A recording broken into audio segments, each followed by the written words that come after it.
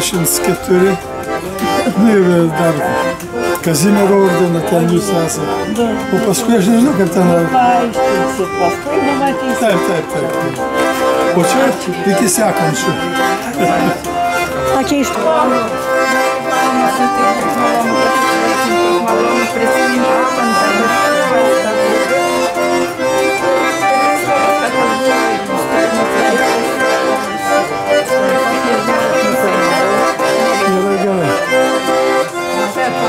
Sveikinu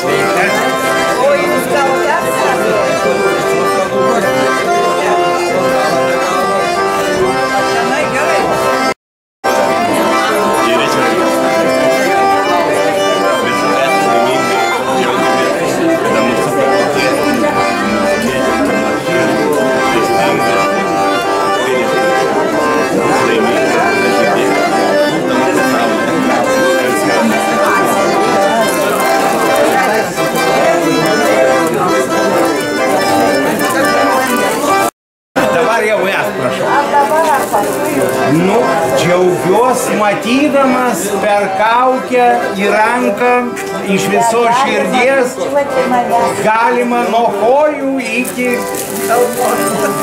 priimti. Atiduodu dabar. Auksinis vokas.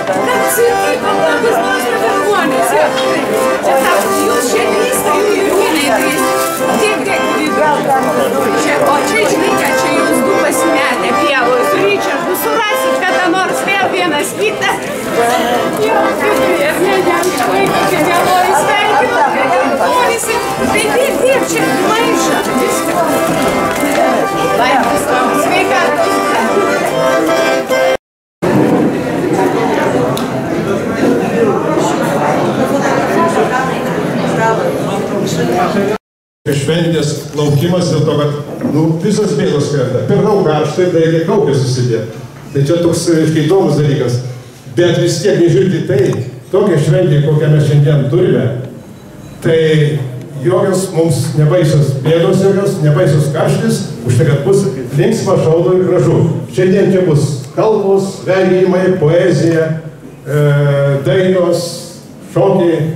Žodžiu, mes turim nuostabę šventę. Tai yra Gertrūdos, Gečiaitės, Kliučinskinės jubiliejai.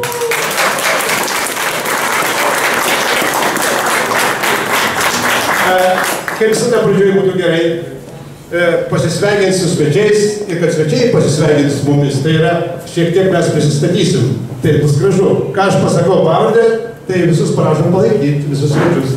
Nes čia iš visų, iš visų Lietuvos kraštų atvykę.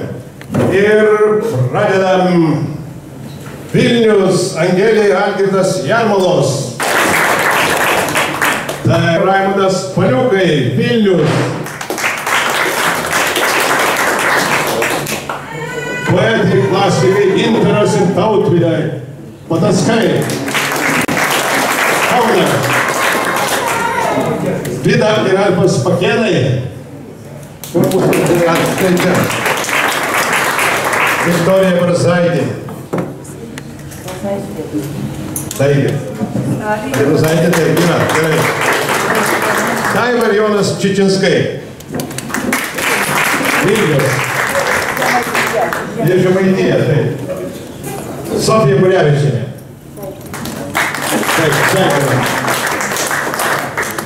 Laima, dabar visus pristatau ir visiems paplosiu iš karto, nes čia yra tautinio meno atstovai.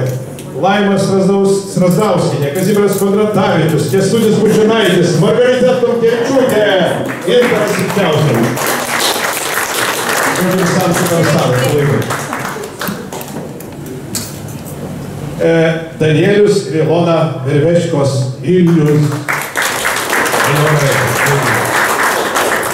Raimundas Garžeskis. Kristina ir Artūras Gedraičiai. Bajorai, Kauno bajorų vadė. Didelių vadas. Vaidas Markevičius. Ja, Kazys Strasdauskas su draugė Renata, taip man užrašyta. Kol kas draugė Renata, taip. Toliau pavardė nuostabi. Kas, e, kas gaunasi, kada būna, reiškia, genijus ir euras. Būna eugenijus. O tai yra garsiausias saksofonistas Eugenijus Kunickas. Aš taip ir tai. Taip, Jurgita Kupčinskinė, mero Kupčinskio žmona. Jadvyga Šimaitinė. Jadvyga Šimaitinė, malonu. Virginija Pačesienė ir Antanas Vicevičius. Saulius Jonkus, kompozitorius. Joana ir Kaskytis, Kesutis Šarkelis, kaimynai, kultūros kaimynai. Geri kaimynai savo svarbiau už giminę dar. Taigi, e, Steponas Kugackas su draugė Birutė.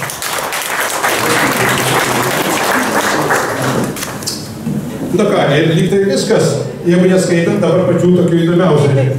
Tai yra, reiškia, giminaitės. Keturios seserys iš viso yra, neskaitant Gertrūdos. Milda ir Slava Daiva.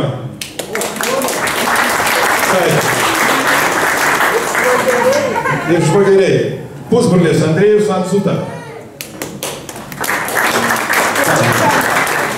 Nu ir ką dabar, tik tai viską pristačiau Gertrūdai.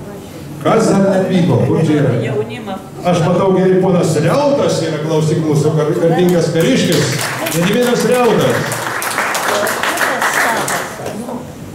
Kas dar? Ten jaunimas, visas mano giminės jaunimas. Mano giminės jaunimas, va visas stalas. Jaunimų uždarimai ir ką dar taip? Jūratė, va. Jūratė, bravo Jūratė, aš kaskytis. Ir trūda, pagal jūsų scenarių pradedam. Nu, mėlėjai, ačiū trumpai dabar pasakysiu. Ačiū, ačiū, kad susirinkote taip skaitlingai, kad taip gražu, kai jūs čia esate. O dabar mūsų gyvenimo keli toks pagrindinis žmogus e, Kaune, su kuriuo susipažinome, nors jis ir žemaitis, kunigas Saulius Paulius Vytautas. Kadangi, kadangi jis dar turi daug darbų šiandien, tai truputį scenarijų keičiam. Tai, tai jam e, jis nori vestuvės, į vestuvės vykti ir visur. Tai tegu paprašysim, kad jis pašventintų mūsų savus ir mus visus. Ir jau jeigu jam reikės bėgti, Mylime jį ir jis prie mūsų šeimos e, labai daug prisidėjo sunkių laikų, labai labai daug padėjo, labai jį mylime. Tai ačiū ir prašom. Vardant Dievo Tėvo ir Sūnaus Šventosios Dvasios. Palaimink viešpatį mums čia visus susirinkusius. Palaimink šias vaišes, kurias iš tavo gerumo ir mūsų milos gertrūdos dar didesnio gerumo čia valgysime ir gersime. Ir aišku, te laimė, palaimink viešpatį mūsų gertrūdę, sulaukusi dar, pasakyčiau, ne per daug garbingo amžiaus, dar gyventi ir gyventi ir džiaugtis šiuo gyvenimu. Ir te padė tau Dievas ir te globoja tave švenčiausia mergelė Marija. Ir palaimink viešpatį mūsų visus, čia susirinkusius. Tai šias dovanas prašome per Kristų mūsų viešpatį Amen. Garbė Dievui, Tėvui ir Sūnui ir Šventai Dvasiai, kai buvo pradžioje, dabar ir visados ir per amžius. Amen. Madris Filės, Spiritus Sancti. Amen. Būkite sotus ir laimingi. Aišku, Švento Jurgio bažnyčioje šiandien vestuvės, trečią valandą reikia skubėti, nes ten taip pat laimingi žmonės nori būti. O aš e, turiu tam tikrą įpareigojimą ir iš Gertrūdos. Neužmirškime, kad e, Kaunas jau tampa tam tikrų rizikos miestų. Aš Laikas lyg žydintis sodas. Jis gražus mums visiems. Kvepia vėjų ir beviltiškai greitai išnyksta. Net nenorime jo pamatyti.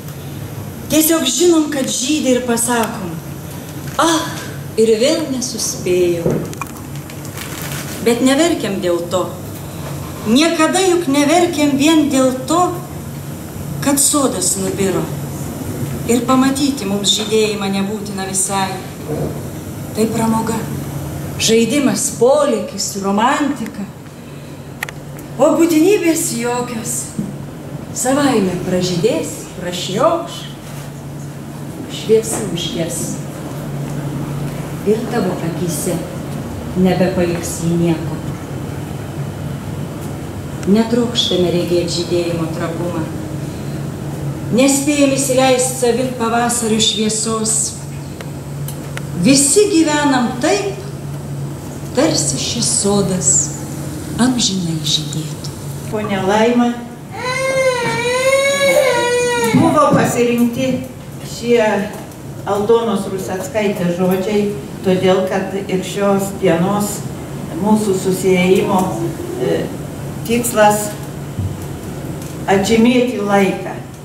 Laikas lyg žydintis sodas. Vieni nubyra, kiti ateina ir, ir džiaugimės, kol esame visi dabar. O kodėl Rusatskaitės? Kodėl e, pas mus irgi poetų yra ir daugiau šiandien? Todėl, kad mano pagrindinis toks variklis gyvenime ir nusiraminimas yra poezija. Ir todėl aš ir myliu poetus ir labai džiaugiuosi, kad su jais tenka draugauti, o ypač dar dabar baigėsi, dar nepasibaigė poezijos pavasaris, kaip žinoma. Tai ačiū dabar. Dabar, mėlyjei, e, dabar, mėlyjei, bus taip. Jūs dar e, nesivaišinkit ir, ir šampano negerkite. Kol kas mes sulauksime labai gražaus, puikaus svečio Liudo Mikalausko, solisto mūsų žemaičio. Ir tai bus dovana mano jum visiems už atvykimą šiandien čia. Tai prašom. Iš įvairiausių kolektyvų su daugeliu iš jūsų dabar matau, tekia tikrai ne vieną kartą būti, bendrauti, kalbėti ir kad susirinktų menininkai į vieną vietą ir, ir prijaučiantis menui, aišku. E, Ir kad jie švestų, visi būtų kartu, o nebūtų tik tai e, dalyviai atskiri kokio renginio labai retai pasitaiko. Kad tokia graži kompanija ir aš meloniai pasidėčiau čia prie kokio stalo. Bet aš šiandien Gertrūdas sureguliavo jums nepaprastai gražią šventę visiems. Ką turiu omeny sureguliavo, nes viskas šiandien yra sudėliota tvarkingai labai. Jis man kokius penkis kartus skambino, susakė, pirmas žmogus gyvenime, kuris susakė viską, ką dainuot ir viską, ko nedainuot. Tai, va. tai šiandien visas scenarius yra Gertrūdos ir leido man tik tai labai nedaug interpretuoti ir pasirodyti labai savęs nedaug sakė. Tai brangiai, būkit pasveikinti, tai gražiai susirinkę į gražią šventę. Ir norėčiau pradėti nuo tikrai jau seniai bedainavau šitą dainą ir kai jūs paprašėte paprašė šitą dainą padainuot, galvoju, o bus proga padainuoti. Jis sako, labai norėčiau, kad šitą dainą dedikuotumėt mano seserims, kurios, manau, susėdusios prie šito stalo, ar ne? Taip. Tai viena gražiausių dainų ir jos skirtos būtent jums. Daugelį iš mūsų šitie žodžiai lydėjo parašyti Kristina Marcinkevičiaus.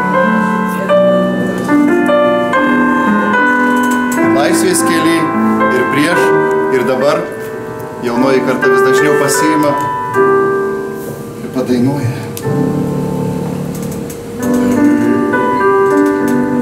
Tai gražiai, gražiai mane augino. Laukas pieva,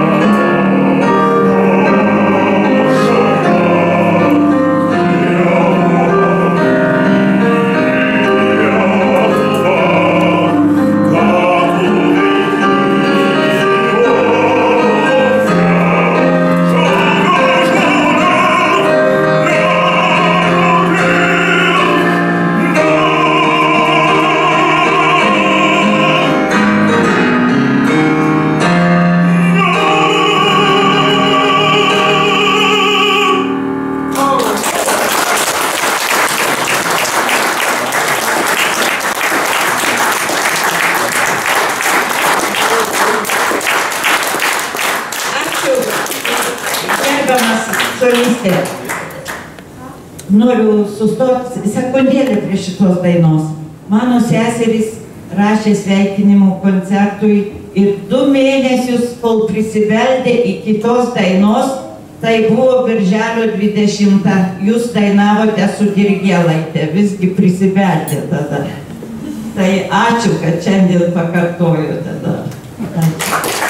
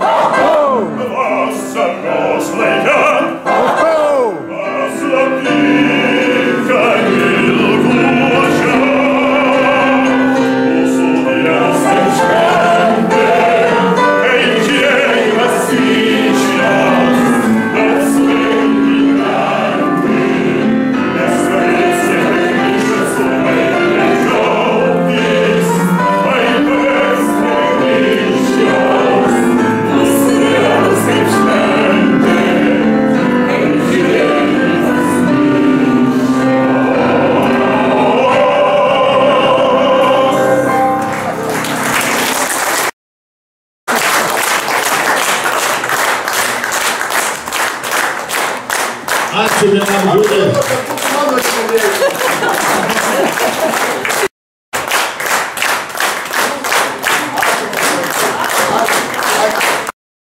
Tikiuosi, čia vis, sveikinu visus susirinkusius ir prieš ilgiausių metų norėčiau, kad nusikeltume į Lietuvos kaimą, į Lietuvos pievą ir paklausykit melodijos. Thank you.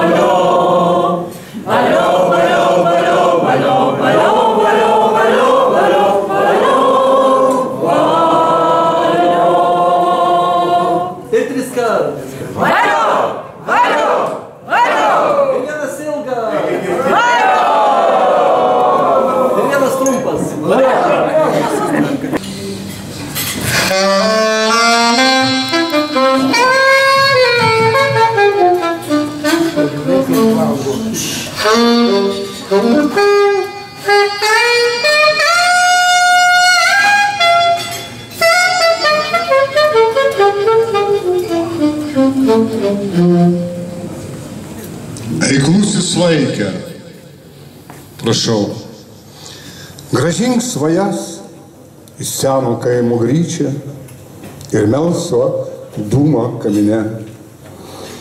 Medinį lopšį kambarį dažnai matai tu jį sapne. Pajausti leiski tėvo ranką, su duonos riekia vakare ir aplankyti jauną mamą su džiaugsmo ašara veide.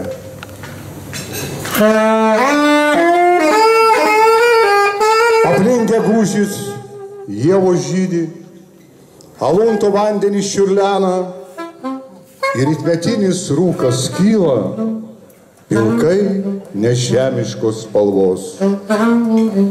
Čia tu užaugai ir pradėjai nedrasų žingsniais į svajas. Tėvai tave čionai mylėjo ir mokė paslaptis suprasti. Be, bėga metai nesulaikomai, alunto vandenys neramus, kiti tėvai, kiti vaikai tenai rieda tavo veidų ašaros.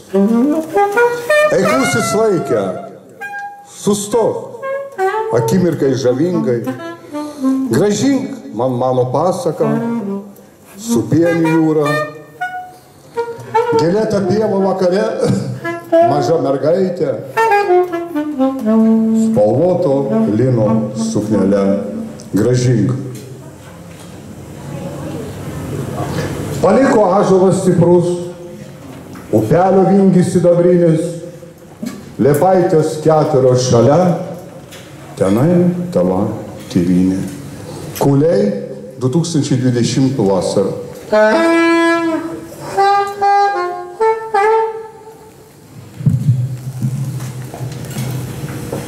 Jei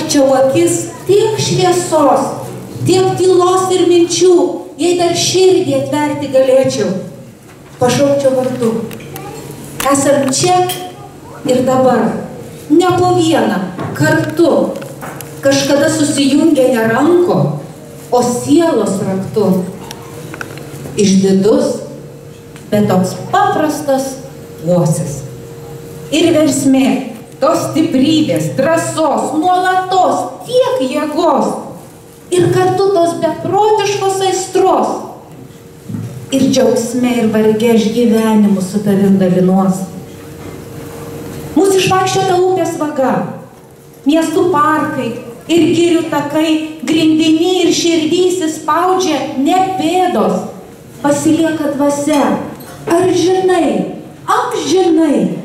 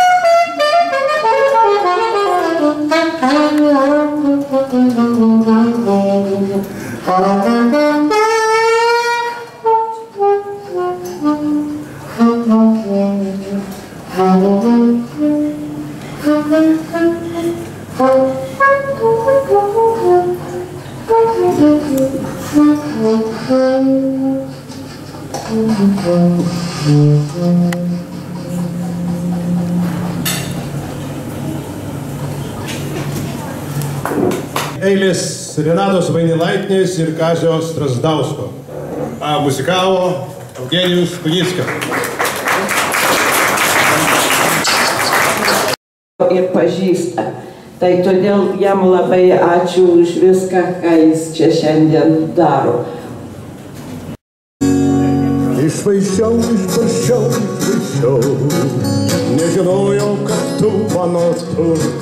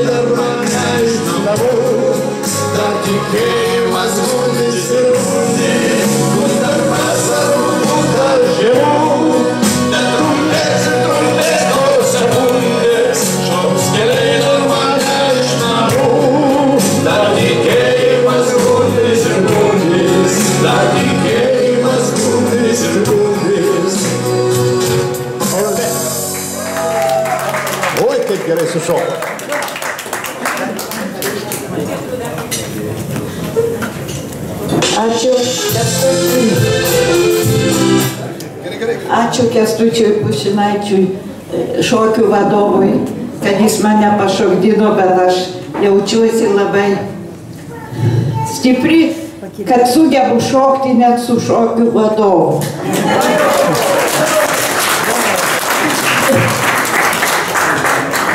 O dabar dar noriu prisipažinti, kad mano paskutinė meilė yra Vytautas Šiškauskas. Deja, šiandien aš jo visiškai čia neturiu, bet puikiausiai pavaduoja Kestutis Ignatavičius. Pas Gertrūdą viskas yra surežisuota, surašyta. Ir man nurodyta taip pat, kaip ir Liūdai Mikalauskui, ką sudainuoti. Šiškausku dar vieną dainą, bet aš vienas nepadainuosiu be jūsų. Taip kad priedainį prašysiu kartu. Ne?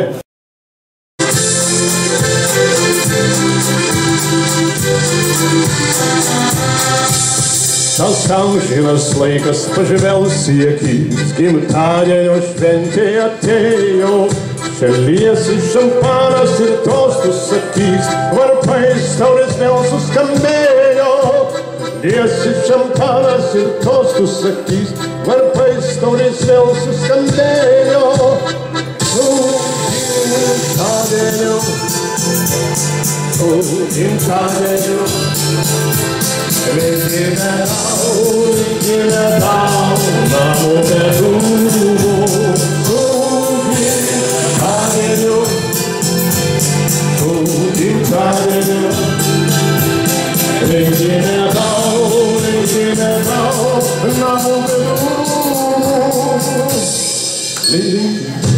Цикава ссылает карту, Толкая посольств музыканту, А хлеба висит по столе сироту, Скамья стала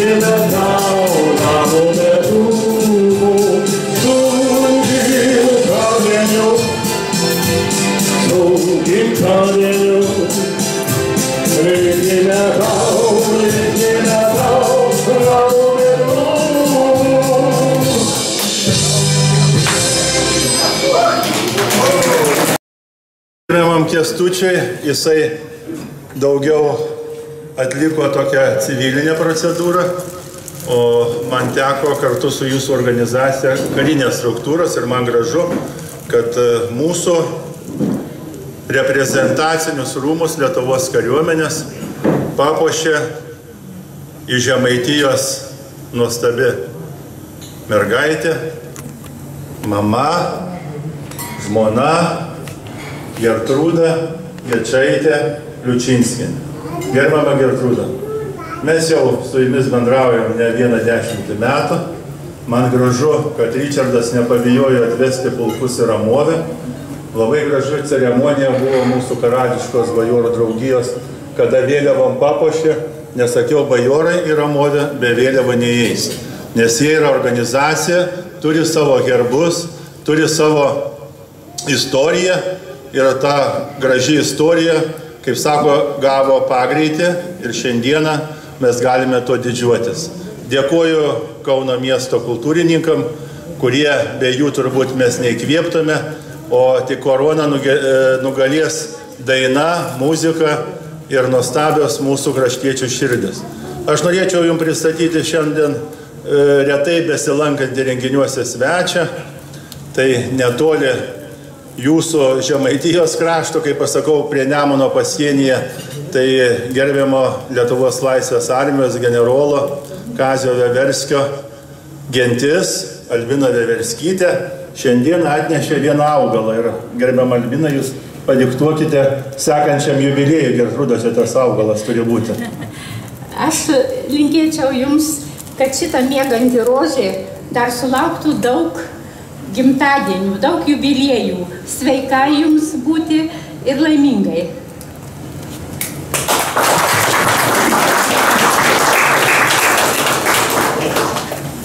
Ar tu žmogus, ar tu laukų gėlė, likimas vienodai įgimtas - kovot, kovot ir nugalėti. Gerbiama Gertrūda, gražu, kai jūs savo darbais papuošėte mūsų tėvynę Lietuvą.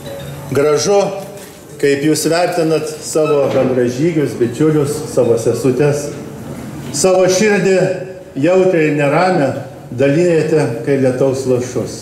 Mes lenkiamės prieš jūs. Dėkojame Žemaitijai. Nesenai prieš keletą metų, kaip ir jūs, Richardą, palikote, palidėjote tą sunkę kelionę. Mano mama Žemaitė iš netoli Varnių, nuo Vaiguvos, tai man yra didžiausia garbė Lietuvos karininkui įteikti jum nacionalinį prizą nuo mūsų kariškių. Jisai vadinasi, kad jūs nelidėtumėt, o jūsų saugotų ramybę mažas angelas. Ačiū Jums, kad Jūs esate gyvuokite ir džiuginkite visus, nes Jūs esate nuostabi mūsų karalaitė Žemaitijos. Dėkui Jums.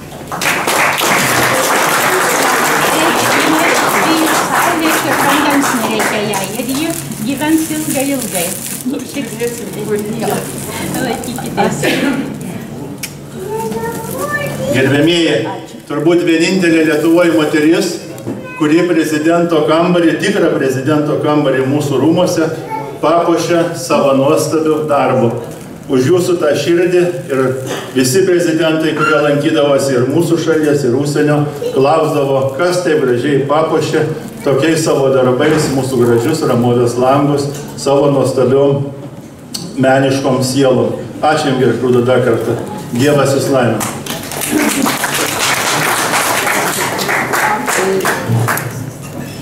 Žinote, gal man reikėjo prieš pasisakymą e, tuos žodžius pasakyti, kuriuos aš dabar pasakysiu. Na dabar tai buvo prieš porą metų, prieš pusantrų. Aš dažnai lankydavausi Laisvės alėjoj ir mes visa šeima. Ir, ir kas bebūtų, ar žiema, ar vasara, aš einu, skubu, o prieš mane karininkas aukštas, gražus jaunas karininkas mane čiumpa į glėbį. Argi gali, nežinau, argi gali taip būti kam nors kitom tokiom senutėm, bet man tai būdavo. O tik nežinau dabar paskutiniu metu, kaip čia atsitiktų, kad susitiktume, nei aš į glėbį norėčiau pulti, nei, nei gal gerbiamas Gediminas mane čiuptų. Kaip čia, bet va, tokie dalykai vyksta. Ačiū, Gediminai. Toliau sveikintojai tai visuomeninių organizacijų, kurios puoselėja kilmingumą, riterystę, tai yra Bajorų sąjunga, riterių ordinas, e, Lietuvos didžiosios kunigaikštystės atminties rūmai, visos organizacijos čia kartu eina tar žodį. Prašau. Šventės dalyviai, miela ponė Gertrūda, na šukės laimė neša, ką tik mes kažką nugriovėme. Išgirdau jūsų žodžius apie Laisvės alėją ir tikrai norėčiau pasakyti ir prisipažinti, kada tik mes praeiname Laisvės alėją pro Kauno viešbutį, būtinai ir žiemą, vasarą prisėdame, užsukame ir maloniai prisimename mielą mūsų poną Richardą. Asmeniškai man neteko daug metų pažinti, bet tikrai įvalės to, kaip mes bendravome. Aš pažinau jūsų draugiškumą, visos šeimos ir nuoširdžiai dėkoju už šią šventę. Šiandieną jūs sveikiname įvairių visuomeninių atmintį istorinę puoselėjančių organizacijų vardu. Gerbiamoji ponė Gertrūda, likimas jums nuaudė gyvenimo margiausią juostą. Vasaros džiaugsmai ją įpynė ir rudenio spalvotą pluoštą. Sidabros naigėmis pabarstė ir ašarom suriom suvilgė. Gyvenimas ne vien tik šventė, ne kartą sielą išmėgino. O šiandien su visais švenčiant garbingo amžiaus jubiliejų, linkime širdį ilgai ilgai nešioti bendrystės aukso spindulėlius. Jubilėjaus dieną nuoširdžiai sveikiname Lietuvos didžiosios kunigaikštystės atminties rūmų vadovas ponas Danielius Melbička, Lietuvos didžiosios kunigaikštystės kilmingųjų palikonių bendrijos vadovo pavaduotojas ponas Raimondas Karževskis, Lietuvos didžiosios kunigaikštystės pono tarybos kancleris ponas Artūras Gedraitis ir aš, Kaunas Skaitės bajorų draugijos vadovė Kristina Gedraitinė. Ačiū. Ačiū visiems svečiams. Ačiū. Ačiū. Miela Gertrūdai,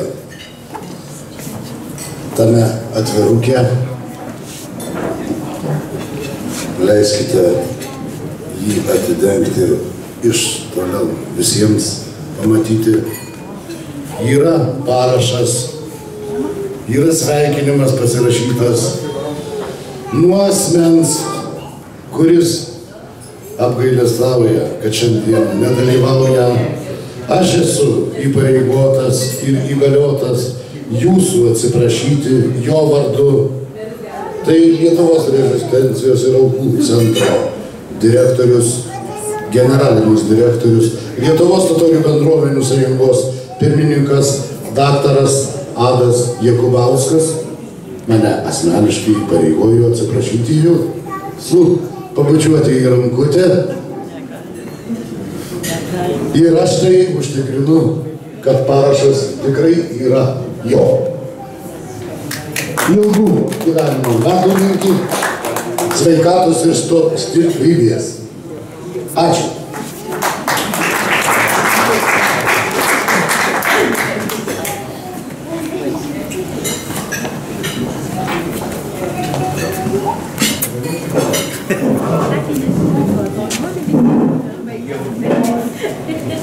O dabar tegul kalba poetai Gintaras Pataskas.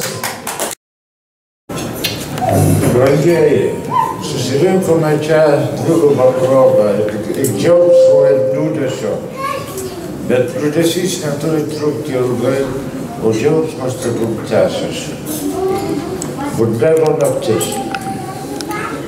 Koks trumpas džiaugsmas vasaros nakties, nebeužtenka atsargumo rėmų, nebeužtenka įtampos ir blefų, kai nuo visatos amžinų problemų mes krentam prie mažučių dekoltė. Mes žaidžiam monotoniją, sudė laukinės žemės, purpurinės sagos, sudė sakau jums vėtros ir korsarai, tai pirštos kleidžiasi rausvi korsažai, tarytum gėlės vasaros nakties. Tai tavo aistros vasaros naktie, kaip ratilais šubuoja virš bedugnių, kaip kraujas plaukia venų viadukais, užgrįžta nuo baltas, užmirštas veidukas į mažą širdį mano atminties. Sekundę, mano draugė, patikėk, jog tavo amžiai esame laimingi, kad beprotiškas alkūnės vingis krūties planeta balta susitinka, apgaubus tamsai vasaros nakties. Poezija išnirus iš būties, gležnų akmens ir stiklo barikadų, gražinus meilę, kaip damoklo kardą, atomais kūno akmenį išarpo, kaip moteris iš vasaros.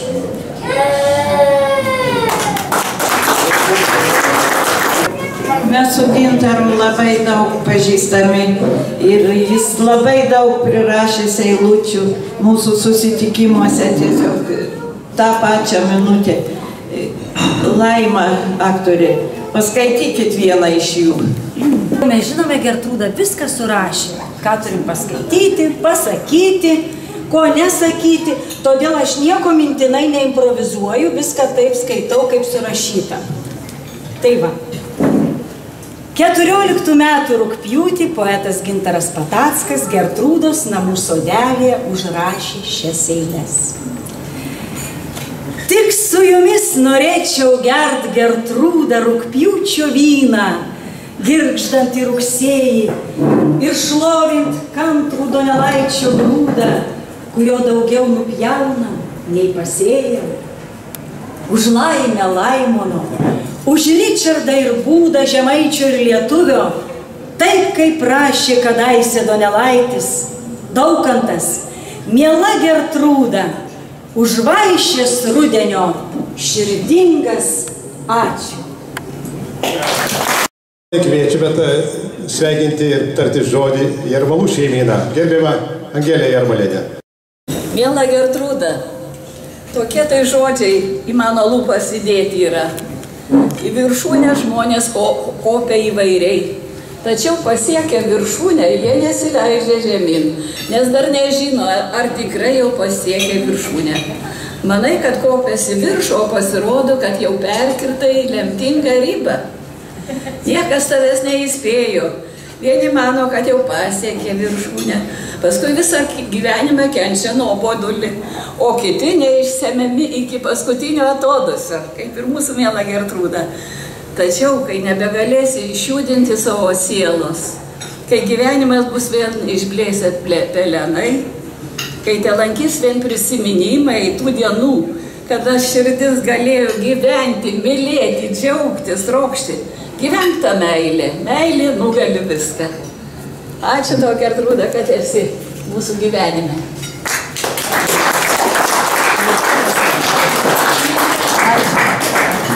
Gertrūda, labai malonu, kad mes esam liudininkai jūsų šeimos tokio didelio pagerbimo. Gerbė Kaunas, Vilnius, visa Lietuva. O jums dar po šito 80-mečio dar sveikatos, kūrybos ir prasmingo gyvenimo. Nuostabiai atrodo, žiūrėkit kaip tos rožės. Ačiū Jums. Gertrūda buvo apdovanota garbingų miesto Kauno santokos uh, ordinu. Tuo metu meras buvo uh, gerbiamas Kupčinskas. Ir šiandien yra Kauno tarybos narė, gerbiama Jurgita Kupčinskinė, kuri taip pat tars žodį. Prašau. Su ponia Gertrūda yra labai įdomi. Mano mažai buvo pusantrų metukų, jinai bėgo per polikliniką, aš bėgu iš Pautsko šaukdama Gertrūdą palauk, staiga atsistojo žavi ponia ir sako, aš irgi esu Gertrūda ir jeigu šita maža mergaitė yra Gertrūda, aš jai nuausiu, nu, nu, ausiu juostą. Tai prasidėjo mūsų draugystė. E, Šiandien pasakojimu, jūs suprantat, kai aš sulaukiau skambučio, kad jums reikia tautinių drabužių, aš neturėjau galimybės tam pasipriešinti. Ir tai, kad mes, o ypatingai mano vyras, per visas šventes dėvi tautinius drabužius, tai yra didžiulis Gertrūdos nuopelnas. Tai mes esam labai dėkingi ir esam susiję per tautiškumą ir per jūsų darbą. Ir tuo pačiu mes dar turim gražius viduramžio rūbus, kuriuos irgi lygiai taip pat mums paskambino ir sakė, jums reikia viduramžio rūbų. Ir aš neturėjau galimybės priešintis. Ir aš džiaugiuosi, kad aš neturėjau galimybės priešintis. Ir šiandien noriu aš jums įteikti, aš noriu parodyti, aš supratau, kad ant sienos vietos liko tik tai vienai nuotraukai, bet gal kur nors jūs rasit vietos vasario 16-osios aktui. Nes tautiškumas mūsų vienijo ir Tikrai. ačiū Jums už bendrystę. Ačiū labai. Iš tolo bijau. Aš galiu padėsiu tada irgi, kad Jums tai.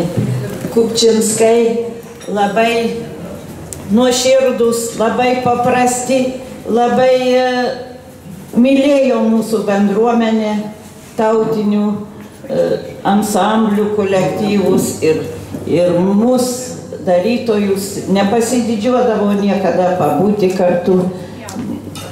Todėl jiem labai ačiū, perduokite ir ponui Andriui, kad labai labai ačiū. jos aktoriais, nežinom kaip tai bus, bet mums geriau šokti negu skaityti eilės. Bet dėl Gertrūdos galim padaryti viską. Gertrūdos jubiliejus. Kauno gatvėm džiaugsmas liejas. Juk Gertrūdos jubiliejus. Visoje Lietuvoje garsėja rūbų tautinių kūrėja.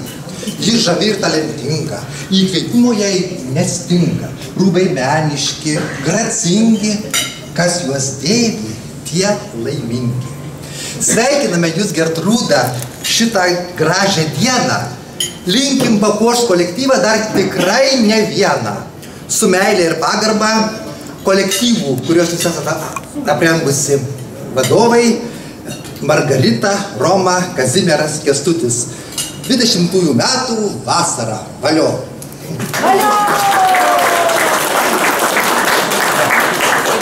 Na ir dar ne viskas, mes dar turim tokią... mes turime muzikinį sveikinimą Gertrūdai. Prašau, Margarita, pristatyti atlikėją. Taip, aš pristatysiu, prašom, pastutė pas mus.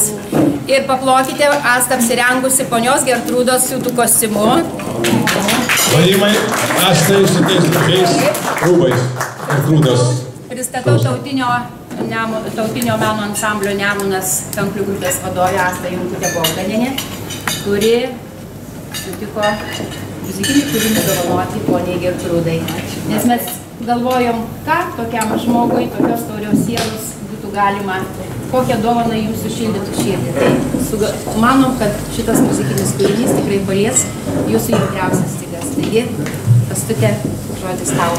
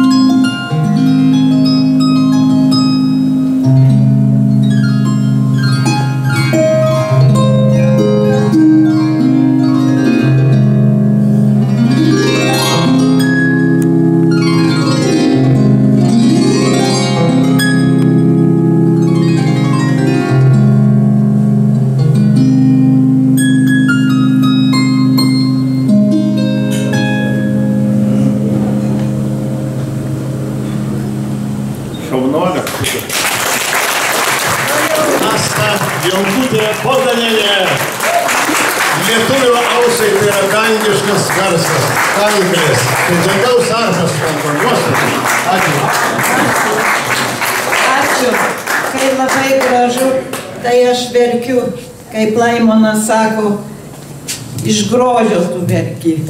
Tai matyt taip ir būna. Ar poezija, ar muzika prisieina verkti. Ačiū. Gertrūda, neverkit, prašom, būčiau ką nors skanaus. Ir tuoj paskos tai vėl toliau. Kas pagėdavo tarti žodį? Ar yra? Visi. Kaiminai yra kaiminai, kurie mūsų laimonų labai globoja. Ir per kučias, ir jau ir mano gimtadienį esame atšventę, kai lingavo net pušis nuo dainos.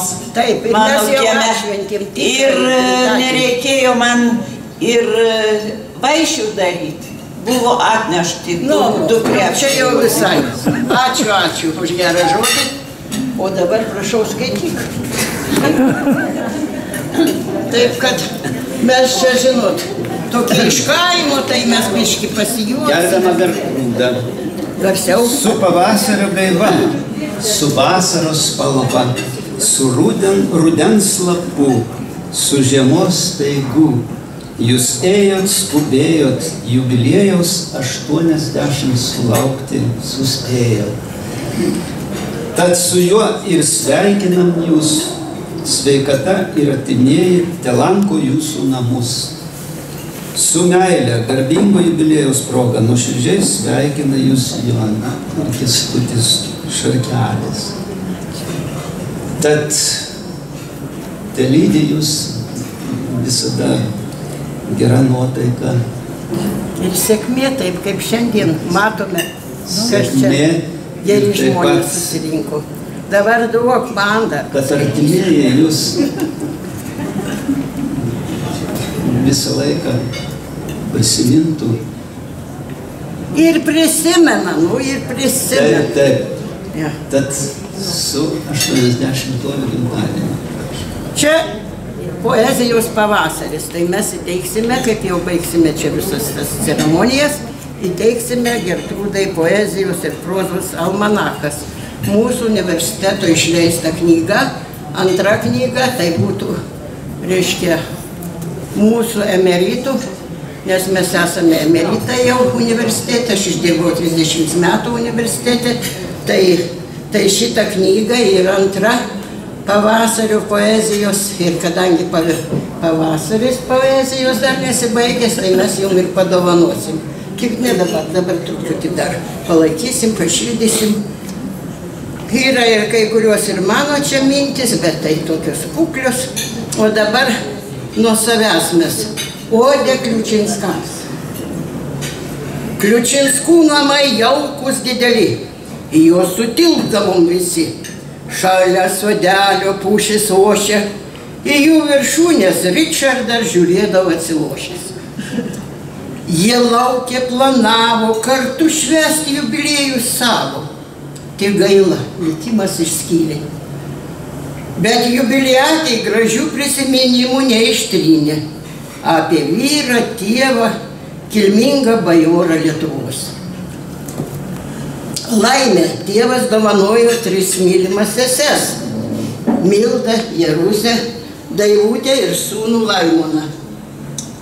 Mes sakome, kad Gertrūda gerą širdį turi. Savo jubiliejų miesto sode subūrė šventė bajoriška kilni. Už pakvietimą esame dėkingi visi, plojame.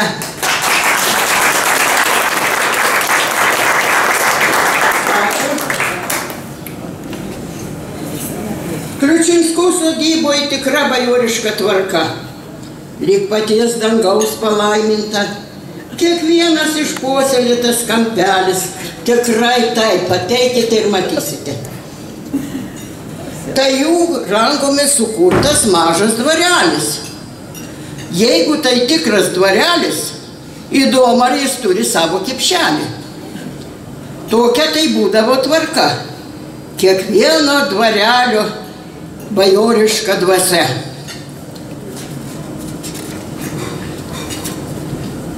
Kipšel, tie kipšeliai būdavo skirtingi, bet dvarų istorijai reikalingi.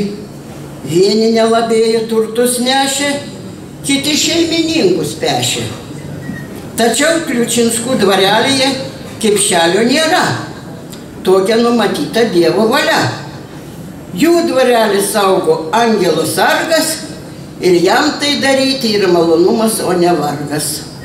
Tad linkim sveikatos, dar ilgai gyventi, džiaugtis sunumi sesėmis, jų rate, Alfredu ir sieloje nesenti.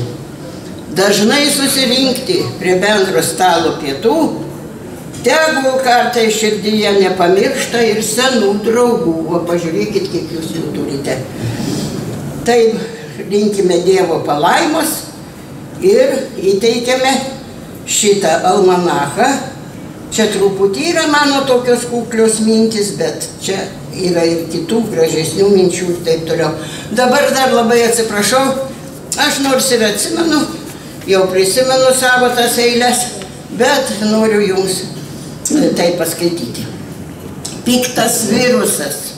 Aš korono nebijau. Daržovių valgau kuo daugiau. Karantinas nebaisus, valgau net visus vaisius. Myliu artimą kaip save pačią, atveriu jam širdį plačią, viską dalinuosi, ką turiu ir pandemiją įveikti tikrai galiu. Niekur neinu iš namų, maistą atsargų turiu, knygas dar labiau skaitau, patarimus išklausau, polifenolę švartoju, rankas plauti nenustoju, naktį miegu aš gerai, savo vyrą myliu net labai. Šeimos imunitetas atsparus, todėl virusas nekips į mus. Žmonija, kai buvo, taip ir bus, garantuoju, kad pasaulis nepražus. Per koroną mes praradom ir atradom. Gal per jį ir meilę, per ją ir meilę radom. Linkiu po pasaulį nesiblaškyti, Lietuvą mylėti ir savęs neištaškyti. Medikai daug padirbėjo, kai šis virusas atėjo. Visi žmonės jiems dėkoja, gali pabučiuoti net koją. Be medikų ir kunigų yra daug gerų žmonių. Nelaimėje visiems padės, atlyginti jie nenorės. Štai Velykos jau praėjo, lauko gėlės sužydėjo, gamta sveikina jau mus ir mažus ir didelius. Kaip jaunystė greit praeina, taip ir krizė ši praeis. Nieko amžino nėra, nebent mūsų Lietuva. Ačiū.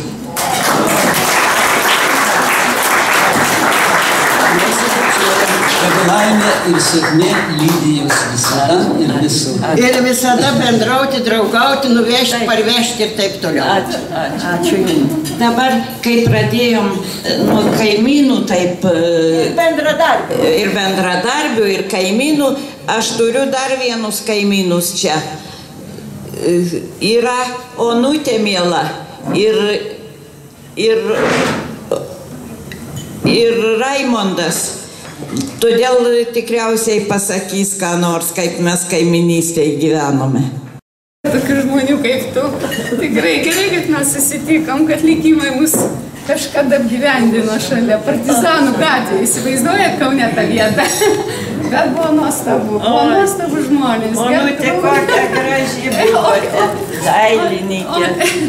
Kaip rengdavosi gražiai, kaip... kaip Bet noriu pasakyti apie Gertrūdą ir Richardą. Jis tada pirmasis buvo, kai aš mačiau, kai jis ją mergino. Ir kaip laiptukais tuk tuk tuk į antrą aukštą įdavo pas Gertrūdą. Pasakykit, Onutė, kaip ten buvo. Vieną kartą tai buvo. Grįžtu vėlai vakare iš kažkur tai ir einu palei partizanų gatvės, ten paparčio tokią parduotuvę. Buvo autobuse tuščia ir vienas gražus aukštas vyras galingas. Ir jis išlipa ten, kur aš išlipu. Aš einu palei tą parduotuvę tamsu. Ir jis, kokią 11, aš bėgti į savo laiptinę, aš pirmam aukšte gyvenu. Ir jis į tą laiptinę, aš spaudžiu mygtuką, o jis rupūžiotas, tada tavo tas. Jėzau, Ryč, jo Ryčardas pas ją taip gražiai tap, tap, tap ir nubėgo. Gertrūda sako, tai mes juokėmės, kad onutė išgąsdino. tai va, tiesiog labai džiaugiuosi jūsų gražiu susitikimu. Ir džiaugiuosi jūsų buvimu. Nu, tokie du gražų žmonės. Tik jūs galėjote, taip sakau, aš tokių retai sutinki. Tikrai čia didžiulė laimė jums iš kažkur padovanota, kad jūs abu sutikot viens kitą. Džiaugiuosi, Gertrūda, tavim, tavo jubiliejum, visko. Mes kaip du tie aisbergai, kai tą Pugačiovą dainuodam, tai susitinkam, tai įsiskiriam, bet visada širdį žinom, kur kas kaip. Labai žinok, myliu, labai džiaugiuosi, būk sveika, būk laiminga. Ir visada mes su tavim. Jeigu galim, aš žmonos irgi keli žodžius pasakysiu. Kadangi, kai kai mes gavom būtą Partizanų gatvėje, tai aš labai atsimenu gerai tą datą, buvo 1972 metų sausio 20 dieną. Ir tada sutinkam kaiminę, jauna, graži ir šypsosi. Ir žinot, koks įvyko stebuklas. Kiek aš pažįstu Gertrūdą, jinai visą laiką taip pat gražiai šypsosi. Nuostabi. Ir kada čia sako kažkokie 80 metų, aš pasižiūriu jos šypseną, jokių tų metų nėra. Tai Gertrūda, šypsokės iki šimto metų, jeigu Dievas duos ir daugiau, o mes kaimynai, jeigu būsim Visi kartu, visą laiką atvažiuosim, jeigu tu mus kviesi. Ačiū Labai ačiū labai. Gertrūda, daugiau šypsokės. Ačiū. Ir daivutė atsimenu, dar O atsimenu sesę. pridėsiu, Onutė tai buvo išgazdinta, bet aš ant Richardo visiškai nepikau, galvoju, aš jos nesugebu išgazdinti, gerai, kad Richardas išgazdina. Tai Gertrūda, viso ko tau geriausiai. Linkim. Ačiū, ačiū, ačiū Būk labai. sveika ir laiminga. O Jėzus, tie visi tikrai Nu, koronos Gertrūda, košmaras kažkas. Mes gimtadienį Gertrūda ant turi stovi ir tegul stovi, auga, o čia tik tai simboliškai. Padėjom. Padėtas paveikslas. Oi, Ačiū. nu, ačiū labai. E, Prašom tautvydą Marcinkievičiūtę Patackienę. savo eilėraštį. Vieną kartą tave išgelbės ne viršūnės baltos Alpių, ant kurių beveik apalpės tu ieškosi išeities iš juodų būties fantomų, perskaitytų knygų tomai, išardyti likatomai, netgi rankos neišties. Ir galbūt tau teks nutilti ir žemyn pažvelgt nuo tilto. Viskas sumalai miltus, ragana plaukais juodais, tik gyvenimas lik laivas, vėl praplauks upė neblaivas, vien tik vairininkas laikas, dar švaistysis pažadais, tik kalbos gimtosios žodžiai, inkarais į dugną godžiai, įsikirs nors nenurodžiau, kamgi reikia tos gelmės. Jei nuleisi echolotą, tai sustingsi tartum lotas, nes taisyklėm neišklotas, vandenynas kaip ir mes. Ačiū Gertrūdai.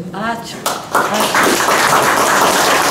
Būdama laiminga Gertrūda prašo paskaityti kadaise parašytą tautvydos Marcinkievičiūtės eilėraštį.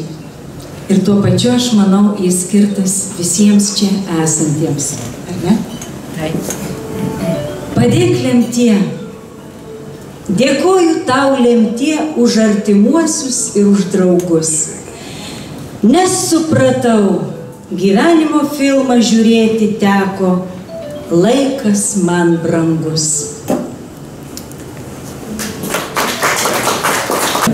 Mėla Gertrūda, gerbėmi svečiai, čia tiek kultūros, tiek meno, poetų, įvairių sričių.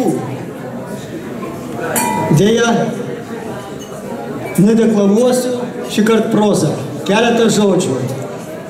Pavėlavau kalbėti, todėl kad viskas pasakyta apie Gertrūdą.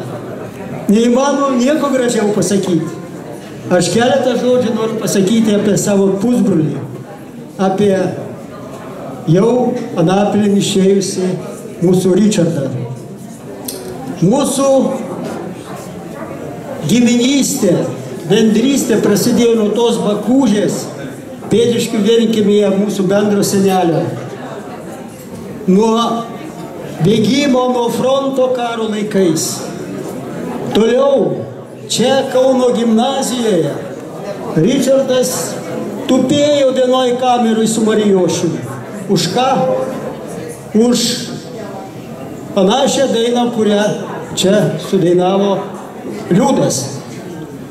Taip, kad gyvenimas tęsiasi, buvo labai daug įvykių, kurie atvedė pagaliau mus į bendrą tokį gražų jų, juos bendrą gražų gyvenimą su Gertrūda. Mes susitikdavom, intensyviai nebendravom, bet susitikdavom laisvės alėjų prie šitų langų ir dažnai su Richardu kalbėjo apie gyvenimą, apie senatvę. Ir priejom bendros išvados, kad senatvė tai puikus dalykas. Ji turi tik vieną trūkumą - ji baigėsi.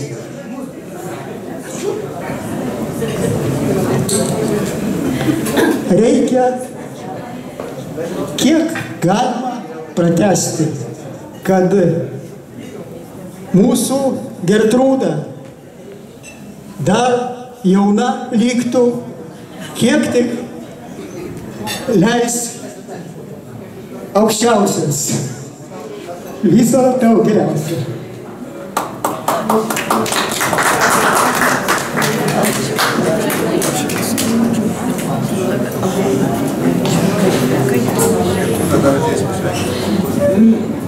Richardo herbas uosinis, Richardo medis uosis.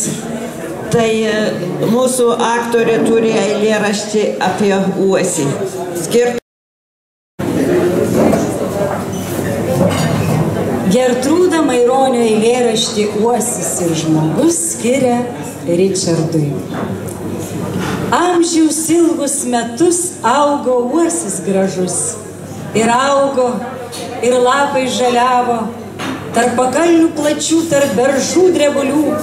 Viršūnės jis nelenkė savo, daužė jį viesulai. Drebė, nedrebėjo jisai, puikiai ir iš aukšto žiūrėjo, o kai žvaigždės nušvis per žavingas naktis, jautriai apie meilę šlamėjo. Jam prie šono tada iš šaknų jo greta uoselis žalsvutis išdygo. Skleidė uosi šakas per naktis ir dienas, iš džiaugsmo siuravo, nemigo. Richardui.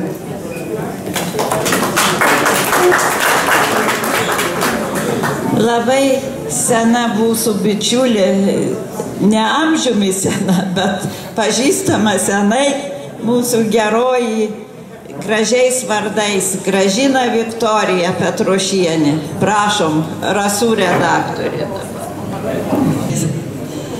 Yra, yra žmonių, kurie taip ateina, atsidaro duris ir sako, štai ir aš.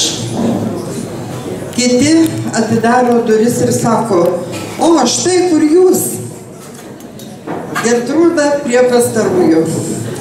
Atėjo šiandien ir džiaugiasi, va kur jūs, mano žmonės, mano gyvenimo pakeleiviai, mano draugai, mano giminės, mano bičiuliai.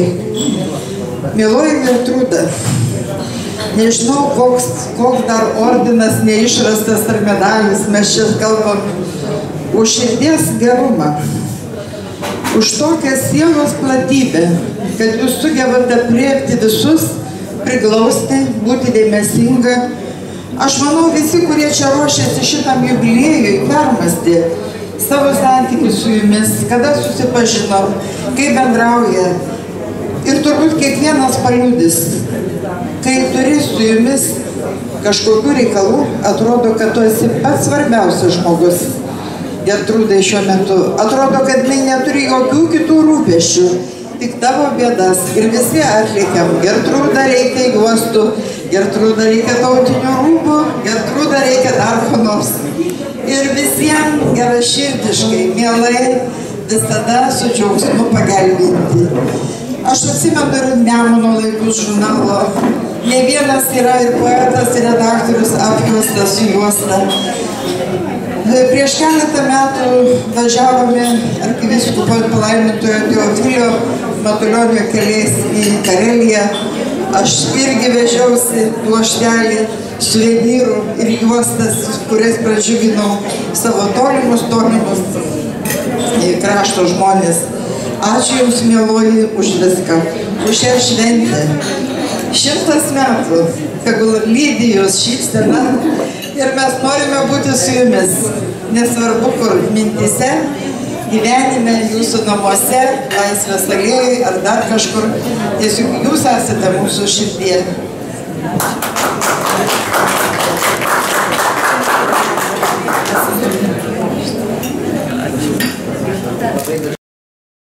Dar iš druskininkų atvykusi ponia Virginija. Ir Antanas nori pasveikinti jūs visus ar mane. Gerbimi svečiai, mėla Gertrūda. Jūs šiandieną gavote labai daug gražių žodžių. Šiandieną skambėjo muzika, skambėjo buvo dedikuotos eilės. Visi pabrėžė jūsų auksinės rankas, gražią sielą. E, Kestutis Ignatavičius, kalbė, e, pasakodamas jūsų gyvenimo, apie jūsų gyvenimą, paminėjo, kad jūs buvote labai, esate, buvote, esate aktyvi visuomenės, e, veik, dalyvaujate visuomeninėje veikloje. Gertrūda yra iš Švento Kazimiero ordino narė. Mane įpareigojo jūs pasveikinti Švento Kazimiero ordino, kaip Kauno vicekontorių, jums e, įteikti sveikinimo raštą. Gerbiama, gerai, gerbiama Gertrūda Kličinskė, dėkojame už nuoširdų bendravimą, paramą ir aktyvų dalyvavimą Švento Kazimiero ordino Kauno kultūrijos veikloje. Ačiū Jums, gerbiama Gertrūda, už tai, kad atidavė dalelę savo gyvenimu, padėdama kitiems visą širdimi ir meilę. Per savo aktyvaus, aktyvios veiklos metus esate nuveikusi daug prasmingų darbų. Remiantis Švento Kazimiero ordino devizo gyvenu, darydamas gerą. 80-ojo jubiliejaus proga linkime sveikatos, stiprybės, visai šeimai Dievo palaimos, ištvermės tęsti pradėtus gerus darbus. Pasirašo Kauno kontūras Aidas Augustis, Kauno Švento Jurgo konvento gvardijonas Saulis Vytautas, e, Kauno vicekontorė Virginija Pačisienė. Taip pat norėtum įteikti jums paruoštos įrašytus filmus. Čia Aidas kontūras e, perdavė jums. Čia yra pažymėti Richardo Kliučinskio atminti birželio, e, birželio mėno šių metų. E, Kazimiero idėjų vedami iš projekto apie Kazimiero bažnyčias Lietuvoje 17, 2017 metų. Tai taip pat apdovanojimas, e, apdovanojimas Sauliui Pauliui Vytautui Kauno rotušėje. Tai ką, čia yra. Taip pat nuo, nuo mūsų ir Gertrūda. Tai, miela Gertrūda, gyvenimas tarsi graži knyga. Joje darbai, mūsų poelgiai, mintis gyva. Kai šildom žmonės žodžiais gerumu, stebuklą mažą kūrėme kartu. Te meilė bus negestanti ugnis, išliks tvirta kaip ažolo širdis, o jubiliejų švytinti žvaigždė suteiks sparnus ir visą palydės. Nuo Virginijos ir Antano aš ir pasisveikinu. Taip, iki šiandien tai įsidėt. Tokį gražų, gražią dėžutę. Taip, taip, taip. Taip, mėla Gertrūda. Labai ačiū. Labai malonu, kad pakvietėt visų ko geriausia. Ačiū. Įpratę laukti. Štai šitą graži draugystė. Osmanų dinastijos posakis būtų toks aukso amžius. Iš tikrųjų, mūsų gyvenime yra būna aukso amžius. Ir šitas gyvenimo aukso amžius buvo 10 metų. Tai buvo pirmieji bajorijos žingsniai Trakų pilyje, Trakų pilyje. pirmieji aktų įteikimai. Tai buvo nuostabios kelionės į Vilniaus operos teatrą. Tai buvo patys gražiausi poezijos vakarai ir Barborai Radvilaitai. Visada buvo Gertrūda ir šviesios atminties Ričardas. Tam gražiame prieglobstyje, pušų, gražiame kemelėje. Graži draugystė, už kurią turbūt nuoširdžiausias, tas geriausias gyvenimo džiaugsmas yra draugai. Ir aš tiesiog simboliškai noriu jums padovanoti, čia yra stiklo, stiklo liktai neįvykęs, bet šokis, kuris turėjo būti su šviesios atminties Richardu. Ir tikrai labai labai prisimenam. Tegu simbolizuoja šitą šokį. Myliu jūs. Tiesiog šveskite gyvenimą.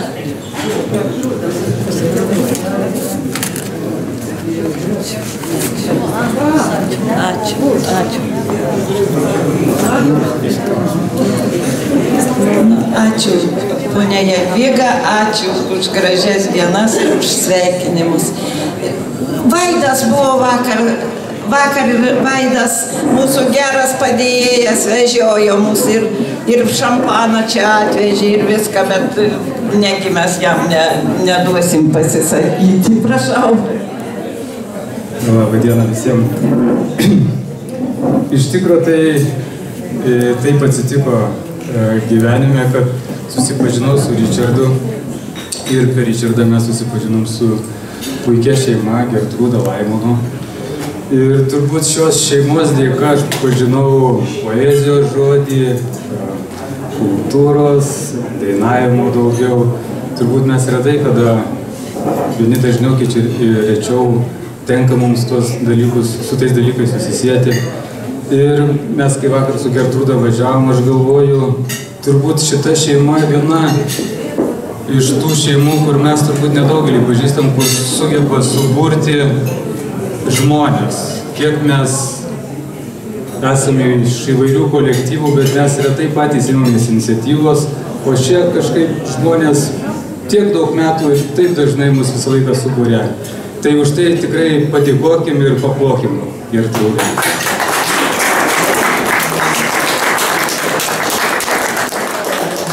O tą progą galvoju, galvoju, ką čia pasakyti tokio geresnio ir galvoju, gal išduoti paslaptį, kaip tapti, kaip tapti laimingu, ar žinot, kaip tapti laimingu. Mes visą laiką visi viens kitam linkim laimės, ar ne? Bet kaip būti laimingu. Ir žiūrėkit, čia tokį dabar eksperimentą pradėsiu. Prisiminkite tą momentą gyvenime, kada buvot laimingas. Man atrodo, pas kiekvieną buvo ta akimirka, ar ne? Ir jeigu atvirai, tai mūsų gyvenimas susideda iš akimirkų. Iš dabartinių akimirkų, iš milijono dabartinių akimirkų. Nes mes galim būti tik tai šitoje akimirkoje ir niekur daugiau.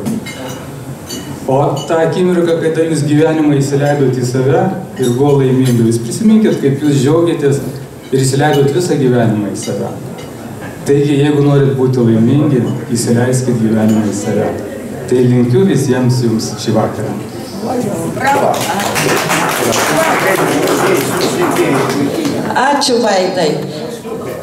Geras vyras žmogus, kuris tikrai visada paskambina, ar nereikia nieko, ar reikia pavežti, kur tikrai nepagaili laiko, kaip ir Kondrotavičius. Kazimieras ir bulvyčių pasiūlo, ir svogūnų užaugina, ir jau yra pasveikinęs mane su gėlėm buvęs. Kestutis Pušinaitis, net vardo diena pasveikina mane. Ot, turime žmonių. Dabar svarbiausiai liko nepastebėti šiandien mano kraštiečiai kuriuos jungia Alunto upelis.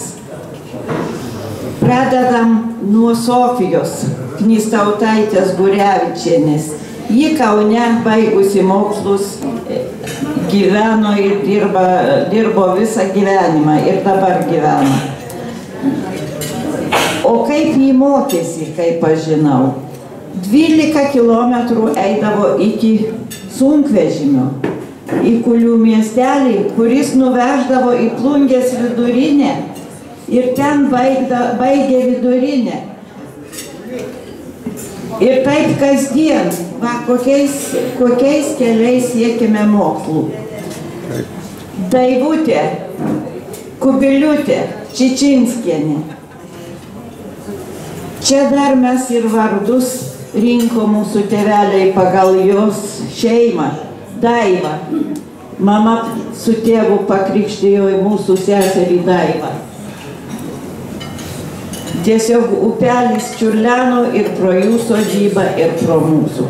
Saulius Jonkus. Aš atsimenu, Sauliau, ar jūs e, dabar kompozitorius, dabar e, Kaune gyvenate. Ar atsimenate tokius laikus, kai aš buvau pirmokė, o jūs gal antrokas, kaip ten, ar abudu pirmokai.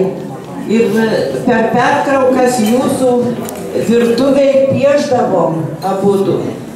O jūs buvote direktoriaus mokyklos sūnus, tai mes susirinkdavom ir pieždavom, o su jūsų sesute dalyte šokdavom koridoriui, noriu miego, saldaus miego. O aš buvau paprasčiausiai atėjusi irgi penkis kilometrus į mokyklą kaimo mergaitė. Tai va, kokių prisiminimų apie jūs. Nu va, tokiais. Būt gimtadienį, neparagauti bilinio torto, tai nuodėmė. Taip, kad ruoškimės visi skanausim. Ar reikia užpūsti gal? Laimonai, žiūrėk, koks tortas.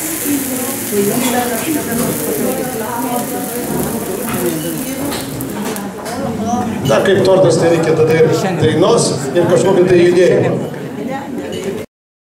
Mėgau, mylėjau kaip žmogų.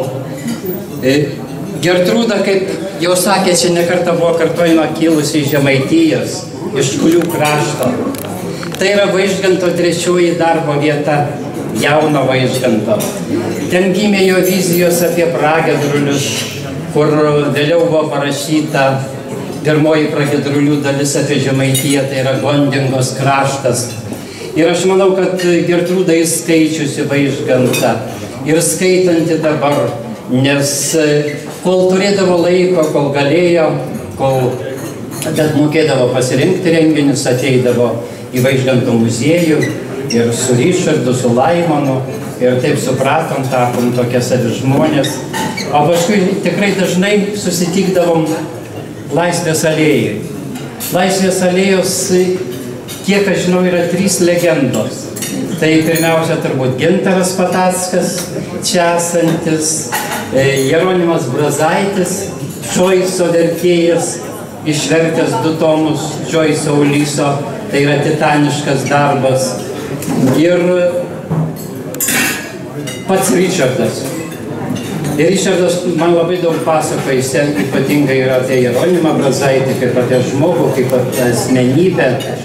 Ir mes irgi ir čia kažkur netoli sėdėdavom ir prieš pat mirtį netaip, netaip jau ilgas tarpas buvom susitikę. Tikrai tai žmogus uh, turėjęs kažką, žmogus, apie kurį galima rašyti atsiminimus. Tai yra asmenybė, kaip ir Gertrūda, aišku, supratusi, supra, žmonės suprantantis Lietuvą, kas tai yra Lietuva. Jis man kažko buvo panašus į dainininką Leonardą Koeną. Tas Koeno dainavimo būdas, Ryšardo kalbėjimo būdas, jausena ir vieną kartą įsikalbėjom ir kad tai ir jo labai mėgstamas, mylimas dainininkas. Ypač Dance Me for My Love, End of My Life, atrodo taip angliškai būtų. Ir kažką tai priminė, kažką tai priminė Pauliaus širdio, vieną kitą eilėraštį, kas atsitiks man, kas atsitiks man. Prisimenu, skaitėm tą eilėraštį kažkada, jis irgi žinojo. Tai va labai gera, kad yra tokių žmonių. Jie labai daug davė, aš labai daug skolingas, jau vien Gertrūdos balsas telefono ragelyje daug ką reiškia ramus, švelnus, nuraminantis, pastiprinantis. Ir jūs, kai ją pamatai, gy, pamatai e, fiziškai, kur nors ar laisvės alėjoje, ar, ar muziejui būdavo, jinai irgi tave tarsi pastiprina. Gera matyti, yra didelis džiaugsmas, kad yra tokių žmonių šalia. Ir aš manau, kad užtat tiek daug čia susirinkusių, kurie myli Gertrūdą. Ir Gertrūda yra pakvietusi tuos savo irgi mylimus žmonės. Nes tai yra meilės žmogus ir Išardas buvo meilės žmogus. Negirdėjau aš, kad apie ką blogą žodį kokį pasakytų. Jeigu ką pasako neigiamą kokią savybę, tai su humoru tarsi švelniai, jokių būdų nors to žmogaus ir čia nėra, kad neužgaudamas to žmogaus. Ir kadangi Gertrūda yra labai tautiška ir žinom, koks jos menas yra, kokio lygio menas, tautiniai rūbai, juostos, koks jos darbštumas, bet viskas yra su Lietuvos pamušalu. Ir aš norėčiau paskaityti jūsų žinomo poeto Jonas Jelkūno eilėraštį Lietuva. Lietuva tai šūvis į krūtinę. Lietuva tai skrydis lik dangaus, lik diena pirma ir paskutinė, už kurios lik skęstantis laikaus. Lietuva akmuo prie slenkščio seno ir lietaus lašelis debesy. Lietuva ugnis, kurią kūreno ir kurioj sudegsime visi.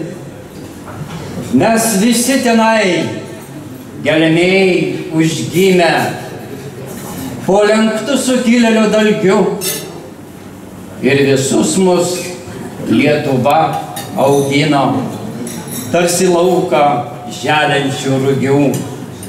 Ak, rugiai, iškentę gruodžio vėją ir keliai nubėgantis kalvom. Kažkada iš Lietuvos atėję mes ir vėl sugrįšim Lietuvom. Ir tenai, kur po visų klajonių žemė atsiguls mano galva, nerašykit mano vardo žmonės, parašykit žmonės Lietuva.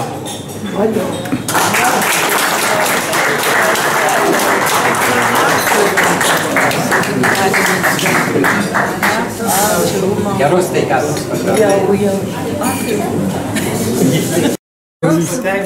A kur Jėvą palikot? Jėva namuose. Aš prieš tris metus pirmavau, mažytį ant rankų laikė anūkas, atrodo.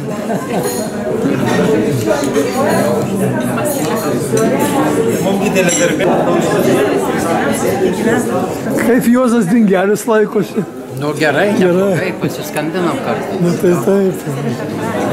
Aš dalyvauju renginiuose tuose. Žinau, kad jūs perinat Tai dar neperinė pilnai, dar, dar, dar reikia. Ko, perintas viskas? Jeigu jie pasispaudžia, nereikia nei vyrių, nei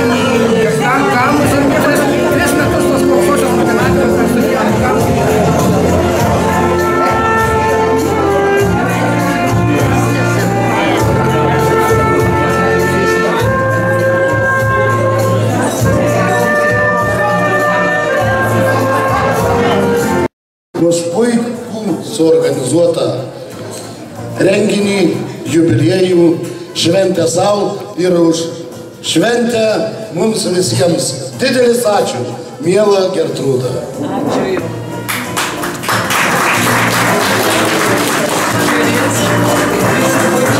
Dabar mes jūs paliekame, mes išvykstame ir neužilgo mes susitiksime rugsėjo mėnesį arba spalio pradžioje.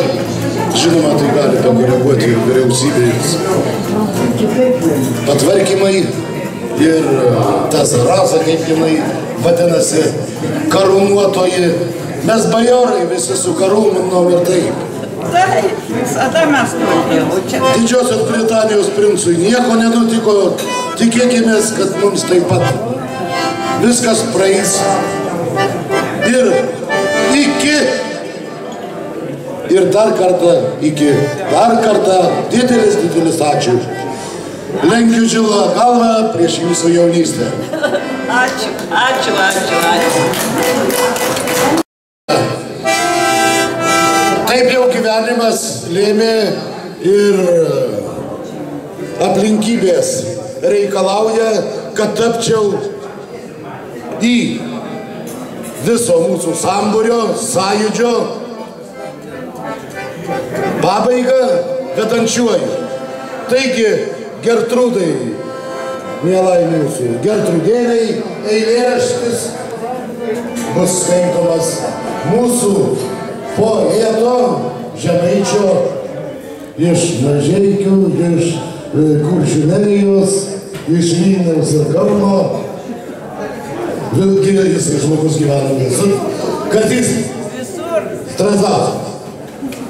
Šventė galinga, iškilminga, susirinkę esam būrys gražių žmonių, bet žinokite, vasara baigėsi, ateina ruduo, nuvysta lapai, žolė pagelsta, lik dalgio pakirsta, apima nostalgija, kad šitos nostalgijos nebūtų, aš vienas eilės apie rūdienį paskaitysiu ir paskirsiu gerbamai Gertrūdai. Su vėjum, su lietaus daina ateina žemėn piktas rudenėlis paslapčia. Vienur jis pauksuoja žalą klevo lapą, kitur žolę padabrina sidabrų, brendu aš ją lyg kilimų švelnių. Aš myliu rudenį, spalvas jų nuostabias, stebiu aš gerves į tolį traukiančias, brendų takų, nuklotų lapų šlamančių, pilna krūtinė aromato rūdienio kvapų. Atleiski man, pavadinau tave piktų, bet nežinau kodėl, kada tu ateini, nukrinta žemė lapai, žolė nuvysta lik dalgio pakirsta, palieka gervės gimtą lizdą ir žemė gauga sutema. Atleiski man, nes nežinau kodėl.